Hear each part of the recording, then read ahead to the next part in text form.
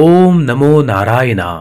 नमस्कार मित्रांनो आपण पाहताय रिअल मराठी यूट्यूब चॅनल मित्रांनो सव्वीस डिसेंबर दोन हजार एकोणीस रोजी या वर्षातील अंतिम सूर्यग्रहण पार पडेल. मित्रांनो या सूर्यग्रहणाच्या दिवशी जर आपण माता तुळशीची काही पानं म्हणजेच तुलसीपत्र जर या ठिकाणी ठेवलीत तर आपल्या सात पिढ्या बसून खातील इतकं धन इतका पैसा आपल्याकडे आल्याशिवाय राहणार नाही. मित्रांनो आपल्याला कदाचित आश्चर्य वाटेल की केवळ तुळशी पत्र ठेवल्याने अशा प्रकारे इतकं धन कसं येऊ शकतं? मात्र मित्रांनो विश्वास ठेवा. ग्रहण कालावधी हा जरी अशुभ मानण्यात आलेला असला तरी सुद्धा जर आपण ग्रहणाच्या बाबतीत काही नियमांचं पालन केलं हिंदू धर्मशास्त्राने सांगितलेले जे नियम आहेत त्या नियमांचं जर कठोरपणे पालन केलं आणि काही ज्योतिष उपाय केले तर त्यामुळे आपल्याला धनसमस्या पैशांची तंगी आर्थिक कोंडी यासारख्या गोष्टींना सामोरं जावं लागत नाही. मित्रांनो ग्रहण सव्वीस डिसेंबर दोन हजार एकोणीस रोजी आहे. सकाळी आठ वाजता या ग्रहणास सुरुवात होईल आणि सकाळी अकरा वाजता या ग्रहणाचा मोक्ष आहे म्हणजे हे ग्रहण संपेल. मित्रांनो तीन तास हे ग्रहण चालणार आहे आणि हे ग्रहण सुरू होण्यापूर्वीच आपण आपल्या देवघरामध्ये काही तुळशीपत्र तोडून ठेवायचे आहेत. मित्रांनो तुळशीपत्र कुठे कुठे ठेवायचे आहेत याबद्दल जरासं जाणून घ्या. पहिली गोष्ट आपलं देवघर.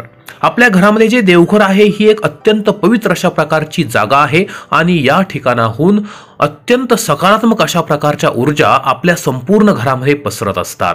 मित्रांनो जे लोक दररोज देवपूजा करतात देवघराची निगा राखतात देवी देवतांना दररोज भोग चढवतात.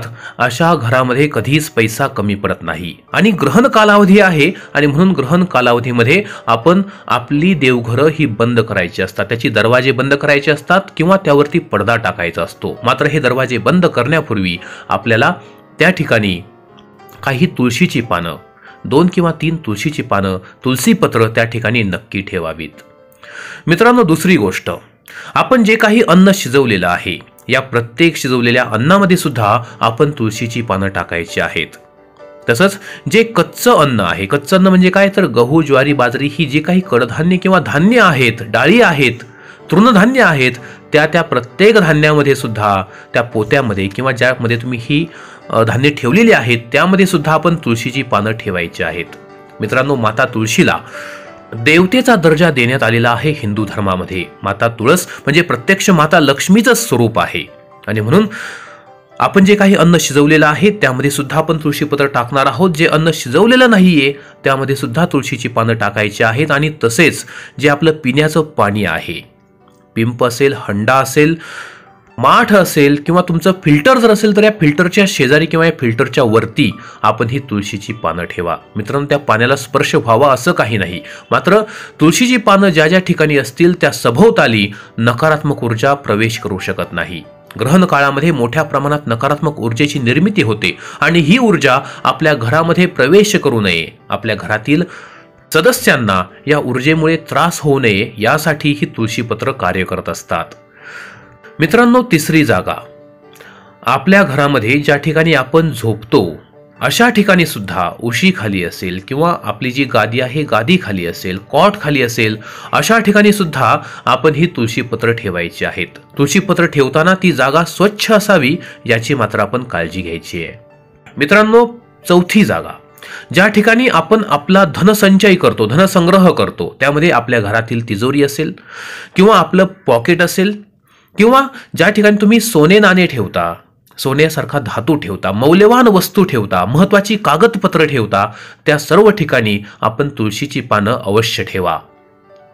मित्रांनो जर तुम्ही विद्यार्थी आहात किंवा तुम्हाला बौद्धिक काम आहे आणि तुमच्याकडे पुस्तके आहेत ज्ञान संग्रह करण्याची काही साधने आहेत लॅपटॉप असेल मोबाईल्स असतील ज्या ज्या ठिकाणून तुम्ही ज्ञान ग्रहण करताय आणि त्यावरतीच तुमचा उदरनिर्वाह चालू आहे किंवा होणार आहे अशा वस्तूंमध्ये सुद्धा आपण तुलसीपत्र अवश्य ठेवायचं आहे. कारण ही जी उदरनिर्वाहाची साधनं आहेत हीच माता लक्ष्मीचं स्वरूप आहेत.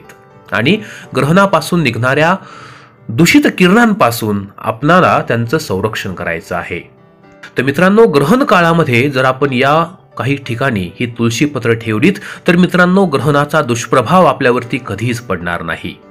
ग्रहणाचा जो दुष्प्रभाव असतो त्यामुळेच आपल्याला आरोग्यदृष्ट्या तर हानी पोहोचतेच मात्र ग्रहदोष सुद्धा आपल्यामध्ये निर्माण होऊ शकतात. नकारात्मक ऊर्जा मोठ्या प्रमाणात निर्माण होते. मित्रांनो एक अत्यंत महत्वाची गोष्ट ही जी पानं तोडायची आहेत आणि ठेवायची आहेत याचा एक विशिष्ट कालावधी आहे. जरी ग्रहण आठ ते अकरा वाजेपर्यंत असेल तरी सुद्धा या ग्रहणाचा सूतक काळ म्हणजेच ग्रहणाचे वेध हे आदल्या दिवशी म्हणजेच पंचवीस डिसेंबर सायंकाळी साडेपाच वाजता सुरू होत आहेत. आणि म्हणून पंचवीस डिसेंबर सायंकाळी साडेपाच वाजण्याच्या पूर्वीच आपण ही पानं तोडायची आहेत. आणि ही पानं तोडल्यानंतर ती मी सांगितलेल्या ठिकाणी आपण ठेवायची आहेत. अजून एक महत्त्वाची गोष्ट जर तुम्ही साडेपाच वाजण्यापूर्वी ही पानं तोडलेली नसतील तर मित्रांनो साडेपाच वाजेनंतर म्हणजे सूतक काळ सुरू झाल्यानंतर ही पानं अजिबात तोडू नका. त्यामुळे तुम्हाला पापास सामोरं जावं लागेल. यासाठी तुम्ही एक उपाय करू शकता. तुळशी खाली जी पानं पडलेली आहेत खाली पडलेली आहेत ही पानं तुम्ही साडेपाच वाजेनंतर घेऊ शकता. ती स्वच्छ करा आणि मग ही पानं तुम्ही वापरू शकता. दुसरी गोष्ट जर तुम्ही यापूर्वीच काही पानं वापरलेली आहेत देवपूजेसाठी असतील किंवा कुठेही असतील तर ही पानं स्वच्छ करून ती पुन्हा आपण वापरू शकता. तुळशीची पानं ही कधीच शिळी होत नसतात हे लक्षात घ्या. तर मित्रांनो हा उपाय नक्की करा. ग्रहणाचा दुष्प्रभाव आपणास कदापिही जाणवणार नाही. माता लक्ष्मी आपल्या घरामध्ये नक्की स्थिर होईल. याबरोबरच धन्यवाद. ओम नमो नारायणा.